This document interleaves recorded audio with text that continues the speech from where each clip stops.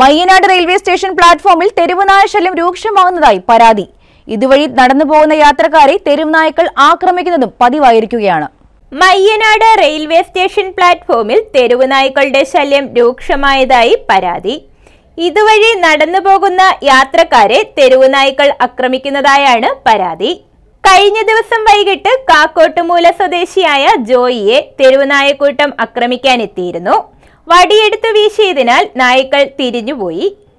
ഇതര സംസ്ഥാന തൊഴിലാളികളെയും തെരുവ് നായക്കൂട്ടം ആക്രമിക്കാനായി ഓടിച്ചതായി പരാതിയിൽ പറയുന്നു. വയനാട് റെയിൽവേ സ്റ്റേഷന്റെ അടുത്ത് വന്നപ്പോഴത്തേക്ക് മൂന്ന് പട്ടികൾ എന്റെ കൈ ഇങ്ങനെ കൈ ഒടിഞ്ഞതിന്റെ പേരിൽ കൈ ഇച്ചിരി തെറ്റി വികസിച്ചിരിക്കുന്നതിന്റെ പേരിൽ ഈ പട്ടിക്ക് എന്നെ എന്നും കാണുന്ന പട്ടിയാ പക്ഷേ ആ പട്ടിക്ക് എന്നെ പിടിച്ചില്ല എന്നെ അടുത്ത് ചേർന്ന്. ഞാൻ പിന്നെ ഒരു കമ്പെടുത്താണ് അവിടുന്ന് രക്ഷപ്പെട്ടത്. News bureau Kollam.